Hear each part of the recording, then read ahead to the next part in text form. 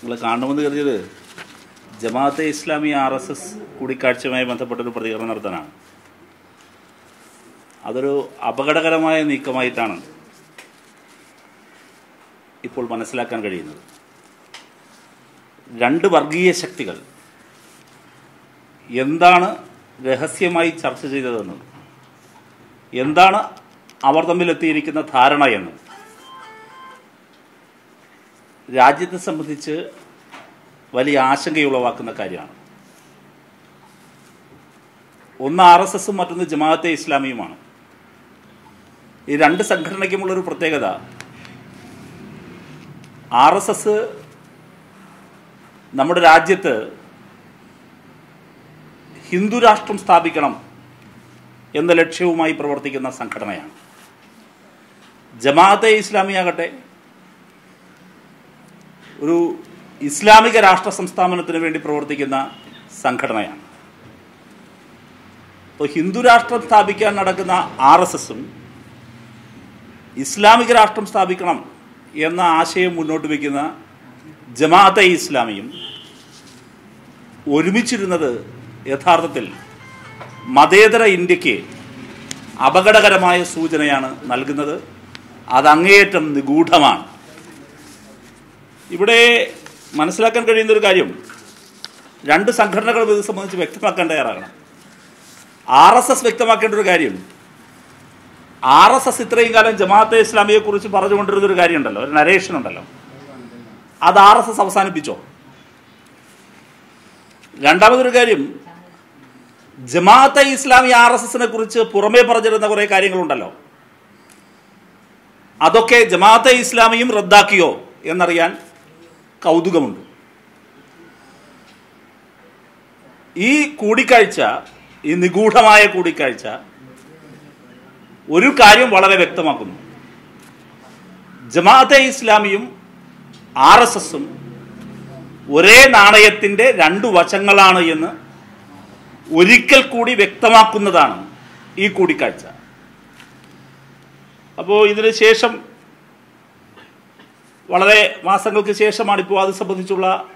വാർത്തകൾ സജീവമാകുന്നത്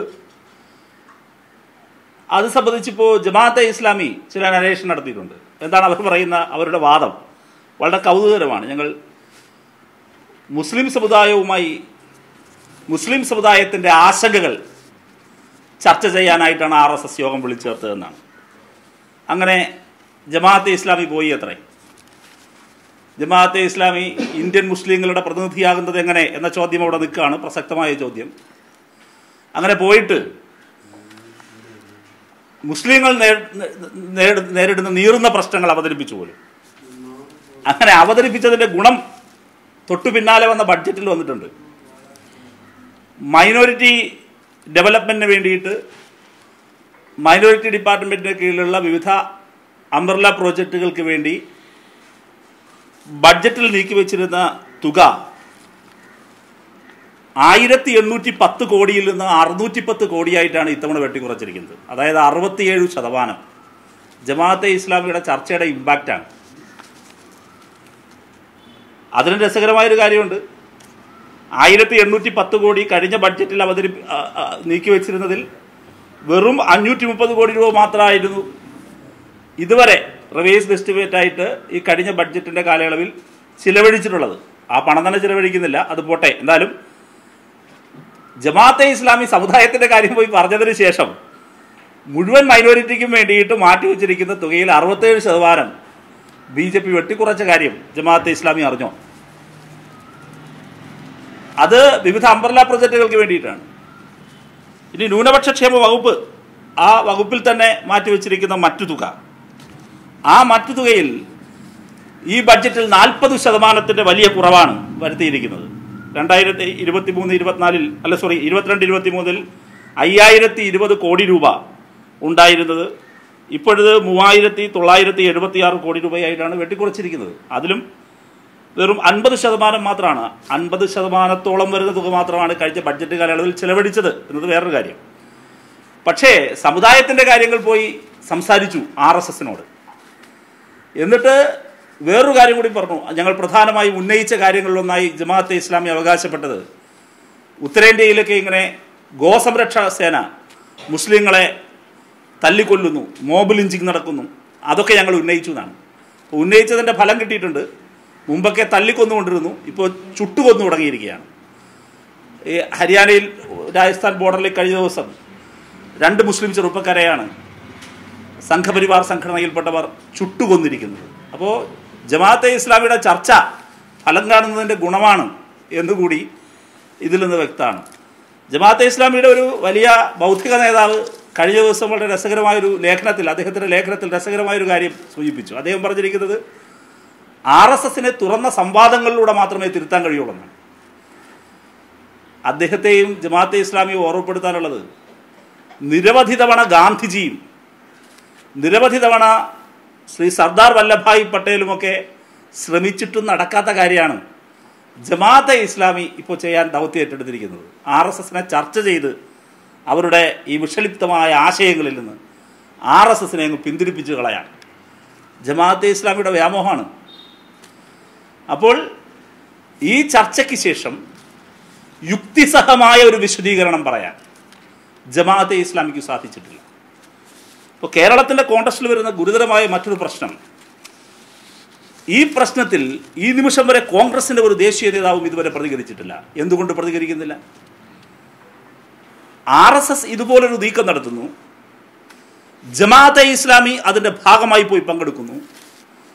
കോൺഗ്രസിൻ്റെ ദേശീയ നേതാക്കൾ ഇങ്ങനെ ഒരു സംഭവം അറിഞ്ഞ മട്ടില്ല പ്രതികരിക്കുന്നേയില്ല കേരളത്തിൽ ശ്രീ മുല്ലപ്പള്ളി രാമചന്ദ്രൻ അദ്ദേഹം കെ പി സി പ്രസിഡന്റ് സ്ഥാനമൊക്കെ പോയെങ്കിലും ഇപ്പോഴും ഉണ്ടല്ലോ ഇവിടെ അദ്ദേഹം അന്ന് തദ്ദേശ സ്വയംഭരണ സ്ഥാപനങ്ങളിലേക്കുള്ള തെരഞ്ഞെടുപ്പ് സമയത്ത് ഒരു നിലപാട് പറഞ്ഞിരുന്നു അത് ആ നിലപാടിൽ അദ്ദേഹം ഒരു കാര്യം പറഞ്ഞു ജമാഅത്തെ ഇസ്ലാമിയുമായി ഒരു ബന്ധവും കോൺഗ്രസ് എവിടെയും ഉണ്ടാക്കില്ല എന്ന് പറഞ്ഞു പറഞ്ഞ മുല്ലപ്പള്ളി ആ സ്ഥാനം ഒഴിഞ്ഞു പോവുക പോയി പോകേണ്ടി വന്നത് മാറ്റി വെച്ചാൽ ജമാഅത്തെ ഇസ്ലാമി ഇപ്പോഴും ആ സ്ഥാനത്തൊക്കെ തന്നെയുണ്ട് മുല്ലപ്പള്ളി രാമചന്ദ്രൻ നിഷേധിച്ച ആ കാലത്തെ അന്നത്തെ ആ തിരഞ്ഞെടുപ്പിൽ വിജയിച്ച് കേരളത്തിലെ വിവിധ തദ്ദേശ സ്വയംഭരണ സ്ഥാപനങ്ങളിൽ ജമാഅത്തെ ഇസ്ലാമിയുടെ പിന്തുണയോടുകൂടി യു ഡി എഫ് ഇപ്പോഴും ഭരണം നടത്തുന്നുണ്ട് ഈ പുതിയ സംഭവത്തിൻ്റെ പശ്ചാത്തലത്തിൽ ജമാഅത്തെ ഇസ്ലാമിയുമായുള്ള ഇപ്പോഴും തുടർന്നുകൊണ്ടിരിക്കുന്ന കൂട്ടുകക്ഷി ഭരണത്തെ സംബന്ധിച്ച് എന്താണ് എന്താണ് ഇവർക്ക് കോൺഗ്രസിന് കെ പി സി സിക്ക് അഭിപ്രായം പ്രകടിപ്പിക്കാനുള്ളത് ഇപ്പോഴും തുടരുകയാണ് പരസ്യമായ സഖ്യം ഭരണസമിതികൾ ഒരുമിച്ച് പങ്കുവെച്ച് ഭരിക്കുകയാണ് സഖ്യകക്ഷിയായി കൂടെ കൂട്ടിയിരിക്കുകയാണ് പല തദ്ദേശ ഭരണ സ്ഥാപനങ്ങളിലും ആർ എസ് എസുമായി നടത്തിയ ഈ പുതിയ നീക്കം അതിലിപ്പോഴും യുക്തിസഹമല്ലാത്ത കാര്യങ്ങൾ വിശദീകരിച്ചുകൊണ്ടിരിക്കുന്ന ജമാഅത്തെ ഇസ്ലാമിയുടെ സമീപനം എന്താണ് കോൺഗ്രസ്സിന് ഈ കോൺടസ്റ്റിൽ അഭിപ്രായം രേഖപ്പെടുത്താനുള്ളത് കേരളത്തിൽ ഇതിൽ എന്ത് നിലപാടാണ് കോൺഗ്രസ് എടുക്കാൻ പോകുന്നത് ഇത് വളരെ പ്രധാനപ്പെട്ട കാര്യങ്ങളാണ് ഏതായാലും ഇത്തരത്തിലൊരു നീക്കം നടത്തിയിരിക്കുന്നത് അതിനിഗൂഢമാണ് രണ്ട് വർഗീയ സംഘടനകൾ ഒരു നാണയത്തിൻ്റെ രണ്ട് വശങ്ങളായ വർഗീയ സംഘടനകൾ ഒന്ന് ഹിന്ദുരാഷ്ട്രം സ്വപ്നം കാണുന്നവർ മറ്റൊന്ന് ഇസ്ലാമിക രാഷ്ട്രം സ്വപ്നം കാണുന്നവർ ഇന്ത്യൻ മതനിരപേക്ഷതയ്ക്ക് വലിയ ഭീഷണി ഉയർത്തുന്ന കൂടിക്കാഴ്ചയായി മാത്രമേ ഇതിനെ നിരീക്ഷിക്കാൻ കഴിയുകയുള്ളൂ ഇത്രയുമാണ് നിങ്ങളോട് പറയാനുള്ളത്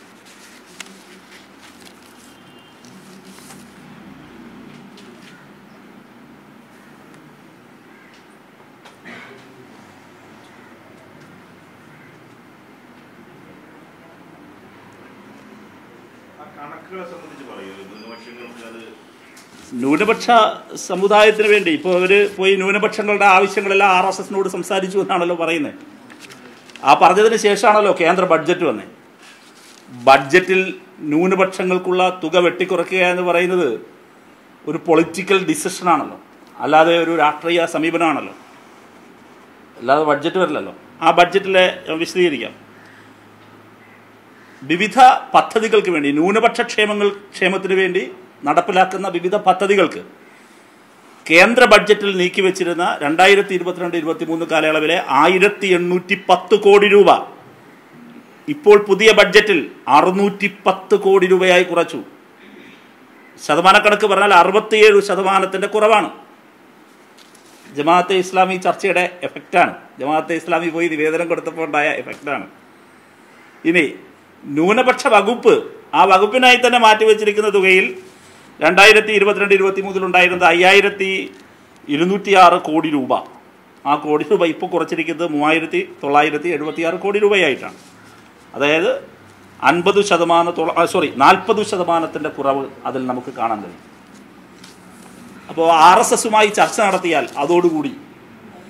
മുസ്ലിങ്ങളെല്ലാം അല്ലെങ്കിൽ ന്യൂനപക്ഷ സമൂഹമെല്ലാം രക്ഷപ്പെടുമെന്നാണോ പറയുന്നത് ഇപ്പോൾ മുസ്ലിങ്ങൾക്കെതിരെ മാത്രമല്ല ന്യൂനപക്ഷങ്ങൾക്കെതിരെയുള്ള കടന്നാക്രമങ്ങൾ രാജ്യത്താകൂടെയാണ് ക്രിസ്ത്യൻ ചർച്ചകൾ ആക്രമിക്കുകയാണ് വിവിധ സ്ഥലങ്ങളിൽ പ്രത്യേകിച്ച് മധ്യപ്രദേശിൽ മലയാളി ആയ ക്രൈസ്തവ പുരോഹിതൻ ഉൾപ്പെടെ ഇപ്പോഴും ജയിലിലാണ് അപ്പോൾ ആർ എസ് എസ് വളരെ ഭ്രാന്തമായി ന്യൂനപക്ഷ വേട്ട നടത്തിക്കൊണ്ടിരിക്കുന്ന ഒരു കാലത്ത് അവരുടെ ബഡ്ജറ്റിൽ തന്നെ വളരെ പ്രകടമായി ഞങ്ങൾ മൈനോറിറ്റിക്ക് അത്ര പരിഗണന കൊടുക്കാൻ ഉദ്ദേശിക്കുന്നില്ല എന്ന് പ്രഖ്യാപിക്കുന്ന ഒരു കാലത്ത് മുസ്ലിങ്ങളുടെ അട്ടിപ്പേറവകാശം അവകാശപ്പെടുന്ന ജമാഅത്തെ ഇസ്ലാമി ഡൽഹിക്ക് പോയി അവിടെ ആർ എസ് എസിൻ്റെ ക്യാമ്പിൽ പോയി ചർച്ച ചെയ്യാൻ ആർ എസ് എസുമായി ഒരുമിച്ചിരിക്കാൻ വർത്തമാനം പറയാൻ എന്ത് യുക്തിയാണ് എന്ത് യുക്തിസഹമായ വിശദീകരണമാണ് അവർക്ക് നൽകാനുള്ളത് അപ്പോൾ ഇത് രാജ്യത്തെ മതനിരപേക്ഷ വിശ്വാസികളെ സംബന്ധിച്ച് വളരെ ആശങ്കയുണർത്തുന്ന കൂടിക്കാഴ്ചയാണ് മതരാഷ്ട്രം ആഗ്രഹിക്കുന്ന മതരാഷ്ട്രത്തിനായി രൂപം കൊണ്ടുകയും പ്രവർത്തിക്കുകയും ചെയ്യുന്ന രണ്ടു സംഘടനകൾ ഒരുമിച്ചിരുന്ന് നടത്തിയ അസാധാരണമായ ഈ നീക്കം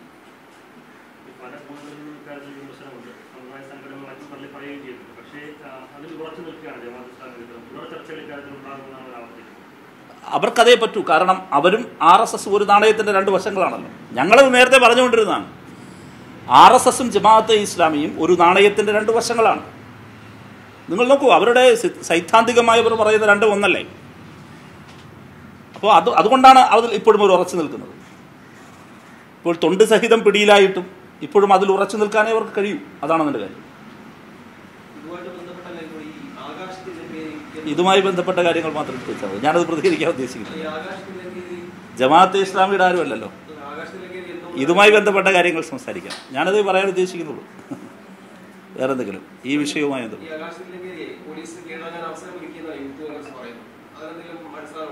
ഞാൻ പറഞ്ഞു അതിനെ കുറിച്ച് പ്രതികരിക്കാൻ ഉദ്ദേശിക്കുന്നത് ഇത് സംബന്ധിച്ചുള്ള ചോദ്യങ്ങളാകാം ഉണ്ടെങ്കിൽ പ്രതികരിക്കാം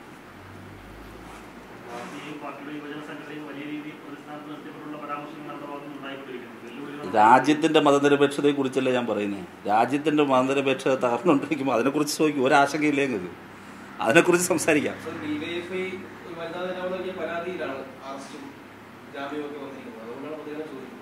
അല്ല ഞാൻ ചോദിക്കുന്നത് ഞാൻ പറയുന്ന കാര്യം രാജ്യത്തിൻ്റെ മതനിരപേക്ഷതയെ സംബന്ധിച്ച വളരെ ഗൗരവ സ്വഭാവമുള്ള ഒരു പ്രശ്നം പറയുമ്പോൾ നമുക്ക് അതിനെക്കുറിച്ചുള്ള ആശങ്കകളല്ലേ പരിഹരിക്കണ്ടേ സംസാരിക്കേണ്ടത്